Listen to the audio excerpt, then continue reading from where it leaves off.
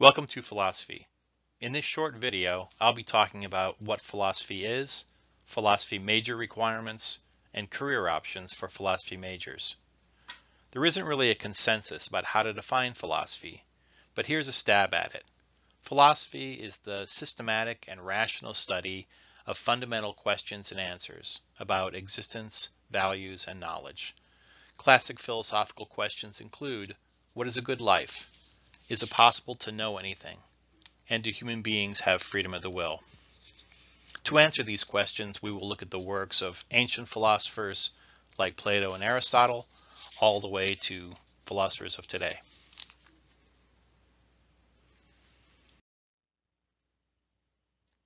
Philosophy has four major areas. Value theory or ethics, metaphysics, epistemology or theory of knowledge, and logic. Now I'll talk about each of these in more detail. Value theory or ethics, also known as moral philosophy, addresses questions about what is morally right. Would it be right to kill one innocent person to save 100? Generally, are actions right because of their beneficial consequences, or for some other reason? Lies sometimes have beneficial consequences, but some people think that lying is always wrong anyway. One thing about lying is that it works only if, if it is the exception to the rule. People believe lies only because most people tell the truth most of the time.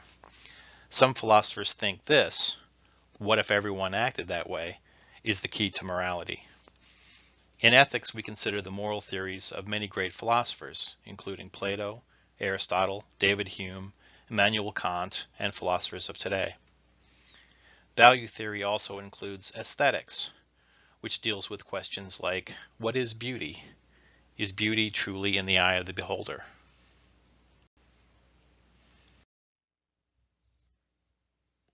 Metaphysics is about the ultimate nature of things. What is the nature of time? Does it flow, or is it a fourth dimension?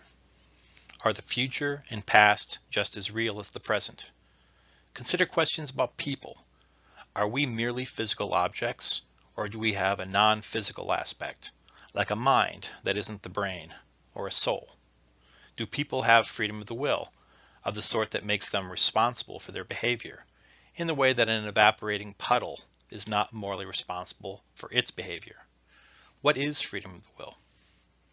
Is there reason to believe God exists? Is the appearance of design we find in nature evidence for the existence of God? Is the suffering of innocent people evidence against the existence of God? Do physical objects, or colors, sounds, and tastes, exist when unobserved? Metaphysics tries to answer questions like these. Epistemology is another name for theory of knowledge. The central questions of epistemology are, what is knowledge? How is it different from mere belief or opinion? And can we know anything? That might seem like an odd question. Of course, we know many things. You know your name, who is president, how many toes you have. But we have very high standards for knowledge. If you have a lottery ticket and it is one of a million tickets and the winner will be drawn tonight, what if I tear up your ticket saying that I knew your ticket will lose. You'd probably object. Since you can't rule out the possibility that it will win, it has one chance in a million of winning, we don't know that it will lose.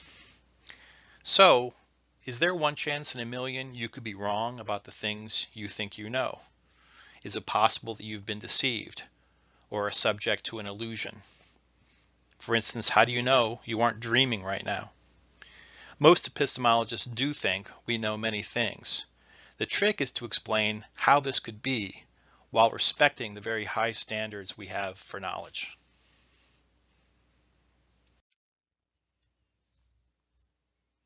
Logic is about the rules of reasoning. Deductive rules of logic are those rules that will never lead you from true statements to false ones. For example, let P and Q stand for complete statements from P and if P then Q, you can deduce Q. This rule is known as modus ponens, and it's one of the simplest and most common rules in logic.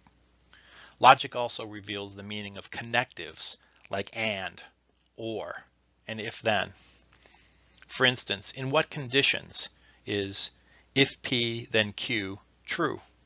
How does if P then Q differ from P if Q or P if and only if Q? Our Introduction to Symbolic Logic course, Philosophy 1500, meets ECU's math requirement.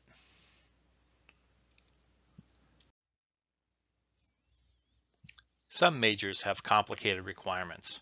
Philosophy doesn't. The only requirements are 30 semester hours, or 10 courses, with at least 12 of those hours at the 3000 or 4000 level. There are no required courses or sequences. All philosophy courses count towards the major. All bachelor's degrees must meet the same general education requirements. Bachelor of Arts degrees, like philosophy, also require four semesters of a foreign language and completion of a minor field of study. Here's a sample four-year plan for majoring in philosophy, but this is very flexible. The idea here is to get started with some introductory philosophy courses and make progress on your foreign language and general education in the first few semesters, and then get to upper level courses in the major and minor courses in later semesters. And you have a lot of freedom about exactly how you do that. The philosophy minor requirements are also very simple. 18 semester hours of philosophy courses with at least six of those hours at the 3000 or 4000 level. Many students double and triple major at ECU. I've even had a couple of students with four majors. Most students have plenty of time for a second major, and having expertise in more than one discipline is a big advantage on the job market and in applying to grad school. If you double major, you do not also need a minor. Note, if your first major is a BS degree, such as biology, chemistry, math, computer science, criminal justice, and you have a second major in philosophy, you are not required to have the four semesters of a foreign language. Philosophy majors pair philosophy with lots of other majors, most commonly political science, psychology, history, biology, criminal justice, and English. Philosophy is not a job prep major in that it doesn't prepare students for any one particular job. Instead, it instills the skills, communication, problem solving, analytical skills, and argumentation, which is the ability to rationally persuade, someone to believe or do something, that are necessary for any good job you'll ever have, and which will never be obsolete. Most students don't wind up in the profession they planned on, or they find themselves in several different careers in their lifetime.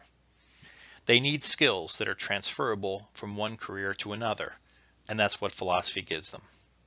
Also, all good jobs involve moral dilemmas for which it is vital to have the ethical grounding that philosophy supplies. So what careers do philosophy majors have? The most common is law. More on that in a moment. Many become journalists, professors, doctors or nurses, entrepreneurs, game designers, and investigative analysts. Many philosophy majors go to law school and become attorneys. Philosophy and the legal profession are both all about argumentation. Law school isn't just learning what the laws are. It is a multidisciplinary philosophy, history, political science, sociology approach to the law. Evidence that philosophy is a superb preparation for law school is that philosophy majors do the best on the law school admissions test, the LSAT, and are accepted into law school at the highest rates. Look it up, best majors for pre-law, and you will find philosophy at or near the top of the list. For those majoring in philosophy thinking about law school, ask about our optional interdisciplinary pre-law concentration. It involves logic, ethics, philosophy of law, as well as courses from disciplines like political science, history, sociology, and classics. Philosophy is a great preparation for other professional or graduate schooling. philosophy majors have the highest scores on the GMAT, the business school admissions test, higher than business majors. They have the highest scores on the GRE. They even have higher scores on the MCAT, the medical school admissions test, than biology majors do.